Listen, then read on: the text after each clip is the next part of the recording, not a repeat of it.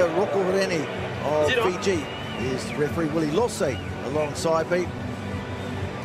And Willie, fatigue a factor, but these guys, these important points they're playing for here. Yeah, absolutely. You don't want to be making sure that you stay alive in the series when it comes to the business end around Paris and London. So you want to try and get as many points as you can in these tournaments. Hang on. So final match of the weekend, kicking off for Kenya and Canada. Canada in their Hey, hey, hey. all white, predominantly white strip. Harry Jones coming down rather heavily. Referee deciding there was uh, no foul play there. And Isaac Kaay, good strong boost. And now Mike Fuailefau taking play up over halfway. So Canada, first opportunity to attack, and they bring the big man Zaruba into the play. He is one of the most powerful ball win. carriers in the sevens game. Taken quickly by Moonlight. Away to Jones. And the two experienced players combining to put Canada in front. Yeah, perfect start for the Canadians. They've controlled the ball and they've taken good options as well here. The Kenyans and fringed. And then Moonlight to his captain, Jones. Easy as you like. Nice little touch there too between William Ambaka and Harry Jones after the try had been scored. Nice little gesture. Great thing about our sport is exactly that. The sportsmanship here between two players. These teams, they play each other a lot. They stay at the same hotels. Great respect amongst them. Fantastic atmosphere amongst the teams too, I have to say. A couple of times staying in the same hotel. Well, you've done it countless occasions. It's, a- it's all business when they get out on the field, but off the field, yeah, a lot of respect.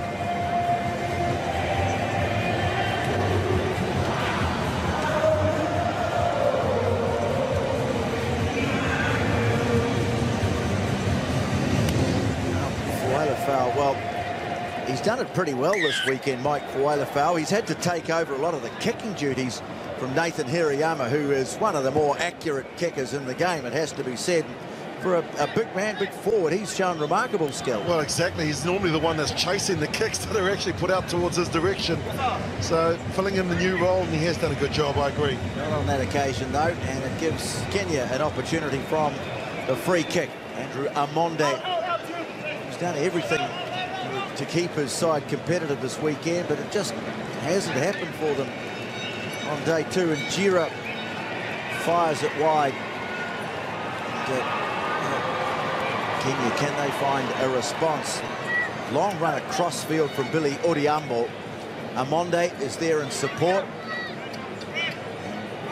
It's Billy Odhiambo who clears. Agero. Oh, can they get it out to Injera? Injera, in fact, uh, playing one in off the wing. And finds Bush Mwale. The return pass, Injera. Agero building here for Kenya. Nice delay, straightening as Ambaka, but the ball's been lost. Now it's hacked downfield by Canada. It was uh, Lucas Hammond. Uh, Bush Mwale has got it. On the neck. They were trying to hold him up, but they got him around the neck, so it's a penalty. Big talking point out of this weekend. Injera, Amonde running on a nice angle, losing the ball though. That kind of sums things up today for Kenya Willie. Yeah, it really has, and great tackle coming in from John Moonlight. Amonde, the captain there, putting the hand up, and Moonlight, the usual captain, it hasn't been in camp for them when they headed into Wellington, and there, just the experience of knocking the ball out there as Amonde is saying to his teammates, sorry fellas, should have controlled it better, Let's go, John. but they are exhausted. The heat, the humidity, go, and the fact that this is their sixth game. Energy sapping Fine. conditions. It's tough enough in sevens, Sit. even in cool weather. It's a tough weekend. Temperatures have got up over 30, but it's really the humidity that has impacted. Oh, Harry Jones opting for the long kick, and that's a beauty. He's peeled off a good 55 metres there. Nice clearance from the skip. Looks pleased with his work, gives him a chance to take a couple of big, deep breaths.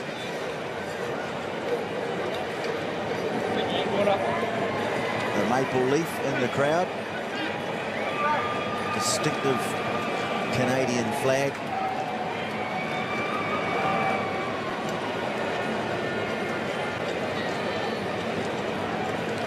Ambaka being one of their best over the last two weeks.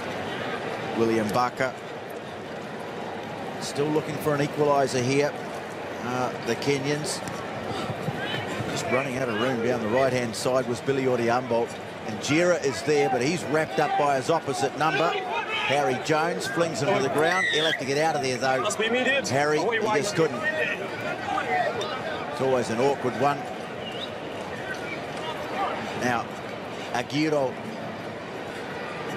flings a long pass, but took an eternity to get to William Ambaka. Brushes off the first tackle, though. A little in and out. He's going to have Hammond. Oh, he's done it for dinner.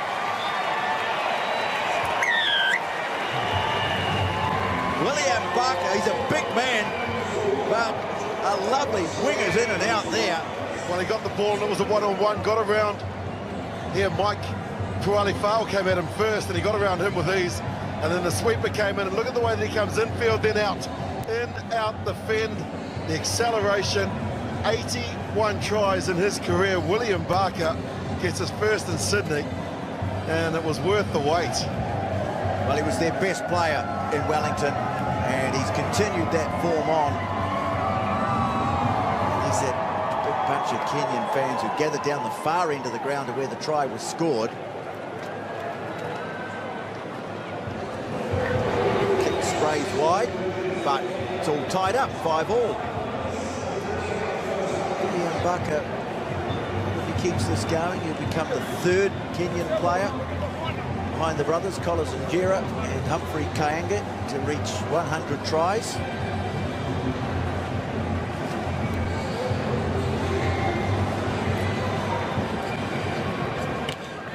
Back on. Not down, Austin but forward, forward, by Luke McCloskey. Frustration. The uh, number five for Canada. All the fives at the moment. And Five seconds to go, first half. Agero. Fine. Set. There's the sound of the kookaburra. Time for the scrum. Oliech onto Odhiambo. Injera going to have a go on the outside. Oh, good tackle from Zaruba. All in touch is half time. Well done, the big man.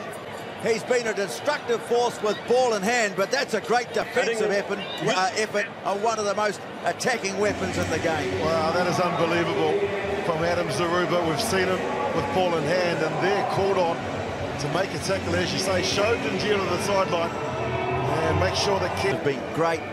Participation from the fans has been great, and the rugby's been very good as well. Oh, who's it going to be? On, Well, Canada over. ball off a Kenyan mistake again. Justin Douglas gets it away. Isaac Kaay. Oh, good tackle. Nelson Oyoo. All in touch. Well, he was outweighed in that. That was a, a welterweight taking on a light heavyweight, and who won? on the five.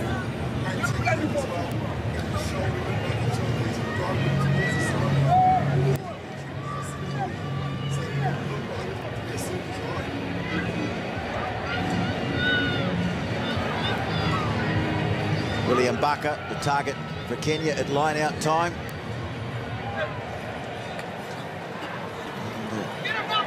And, try and work it out. Good strong run from Billy Adi- Odhiambo. One of those players who just loves to get hands on the ball, get involved as, as much as possible. Oh, awkward pass, though. Absolutely nothing he can do with something like that. That's uh, John. asking the impossible of Nelson You Oyoo. Up to. Scrum or line out. You got up to. Scrum down. Scrum down. So Canada now get prime attacking ball guys. from the scrum.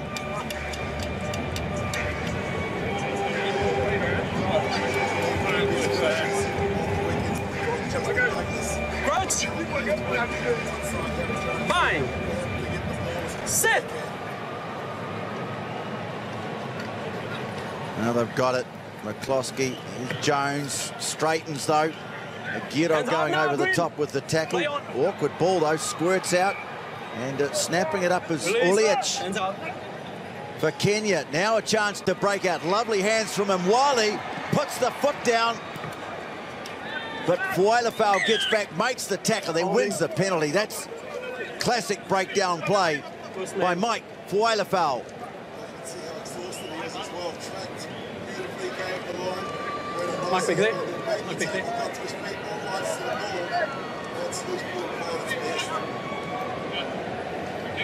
So Fuailefau in the Samoan origins.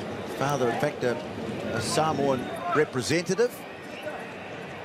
Went off to uh, Canada on doing some missionary work. And that's where he met his wife. They moved to Canada. And here's Mike Fuailefau. Uh, Samoan Can Canadian. Time off, please. Yeah, this is the mark. Move up wide. Move up wide. Push back, push back. Referee Tavita just gets the spacing in the line out. Hammond moves it wide. McCloskey. And uh, they give it to Justin Douglas, trying to get on the outside. Again, Kenya's defence is good, and it's OU who does it again. Hammond, they bring it back the other way through Moonlight. Zaruba, this time in the middle of the park. It's not his best work, the, park, uh, the pass to Fuailefau. And back on halfway, but he's got good strength. Threatening to lose his shorts there for a moment. Gets support from his teammates. Canada's just looking for the one strike they need to break this game. Jones on lovely ball back and field to McCloskey. Taken from behind by Mwale. Reached over the shoulder. Entry. It's a penalty for incorrect entry. Behind the hindmost. What a ball from Harry Jones. Another just gonna slow it down and move it to set piece. Just have a look at the break here. Thank you. Stand back off. Coming in, not through the gates. I don't know whether it's so much a matter of slow down or just arrive on the spot where they needed to be. That some of these players are just Time back on. gasping for Weilefeld. Here's Hammond. It's going out along the chain. Jones. It, uh, a nice double round from Hammond makes a little space for Justin Douglas. And finally, Canada crack it open. He's a great finisher. Justin Douglas continuing the that he had in last week. Chris Troy here in Sydney and doing all the hard work and it's just the quick hands and the pace to get to the line. Thanks. Someone hit the break and Canada strike first in the second half. Well, this is not the hardest try he's had to score this weekend. I've certainly got him, not if not in on the fringe of my all-star team selection, dream team for this weekend. Jeepers, there's a candidate for the worst kick, not just of this weekend, not just of today, but the whole series from Harry Jones. That one just, just about ran along the 22 line. There is Justin Douglas, five tries for the weekend. That was probably the easiest of the lot.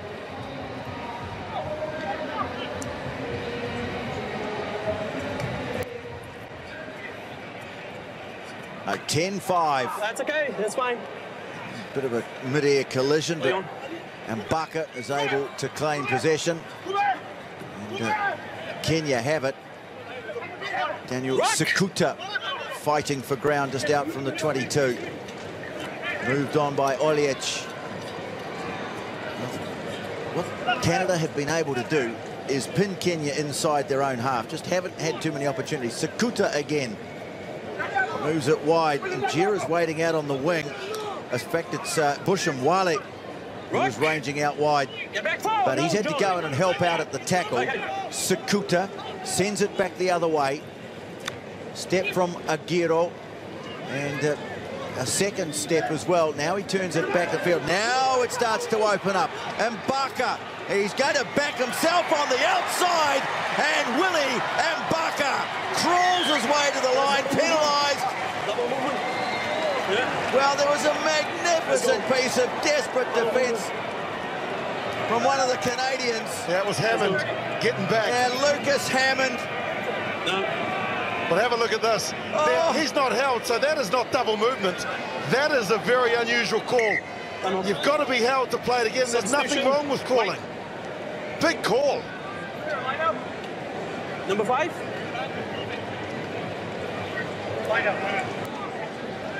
Thanks. Time it going. Well, that's a tough call. I'll tell you what, the uh, Let's go. it's Lucas Hammond. His heroics maybe have cost him place the rest of the tour. And now they're getting into all sorts of trouble. Oh, Harry Jones. What That's were you thinking, he says. But it's all over. And that brilliant piece of defence from Lucas Hammond, a rather controversial call to come after it, though. Eventually, they get the ball over the touchline. And some relief for Canada, really, more than celebration at the end of the weekend. They win the playoff for 13th place, defeating Kenya by 10 to 5. Russia, France up next. Greg Clark with the call.